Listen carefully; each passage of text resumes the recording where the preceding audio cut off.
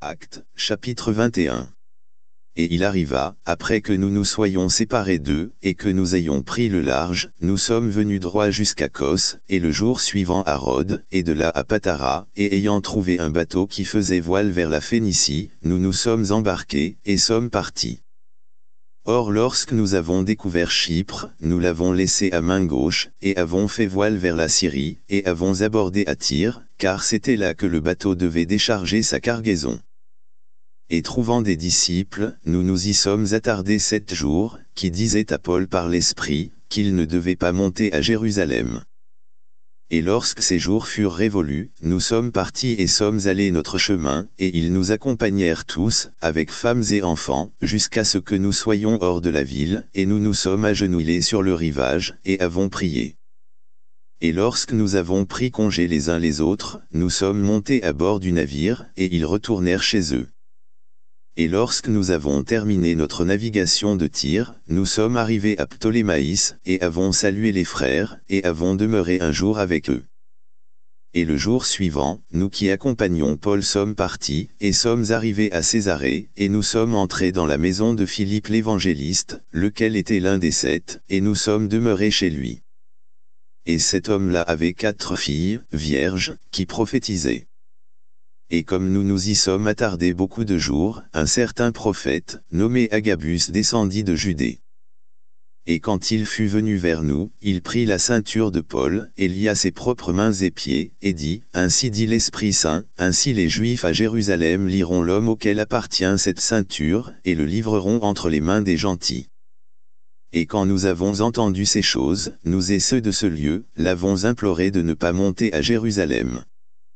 Alors Paul répondit, Que faites-vous à pleurer et à briser mon cœur? Car je suis prêt non seulement à être lié, mais aussi à mourir à Jérusalem pour le nom du Seigneur Jésus. Et comme il ne voulut pas être persuadé, nous avons cessé, disant, Que la volonté du Seigneur soit faite.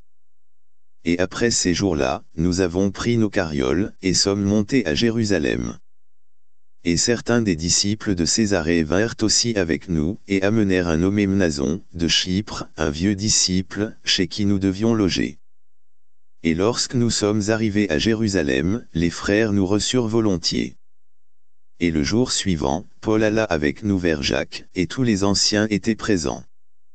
Et lorsqu'il les eut salués, il déclara particulièrement quelle chose Dieu avait effectuée parmi les gentils, par son ministère. Et quand ils l'entendirent, ils glorifièrent le Seigneur, et lui dirent, Tu vois, frère, combien de milliers de Juifs qui croient, et ils sont tous zélés pour la loi, et ils sont informés de toi, que tu enseignes tous les Juifs qui sont parmi les gentils à renoncer à Moïse, disant qu'ils ne doivent pas circoncire leurs enfants, ni marcher suivant les coutumes. Qu'est-ce donc? La multitude a besoin de se rassembler, car ils entendront dire que tu es venu. Fais donc ce que nous allons te dire, nous avons quatre hommes qui ont fait un vœu, prends-les, et purifie-toi avec eux, et contribue avec eux, afin qu'ils puissent raser leur tête, et que tous puissent savoir que de ces choses dont ils ont été informés te concernant, ne sont rien, mais que toi-même aussi tu marches d'une manière ordonnée et gardes la loi. Quant aux gentils qui croient, nous avons écrit et conclu qu'ils n'ont à observer rien de semblable, sauf seulement qu'ils se gardent des choses offertes aux idoles, et du sang, et de ce qui est étranglé et de la fornication. Alors Paul prit les hommes, et le jour suivant s'étant purifié avec eux entra dans le temple, pour signifier l'accomplissement des jours de purification jusqu'à ce qu'une offrande soit offerte pour chacun d'entre eux.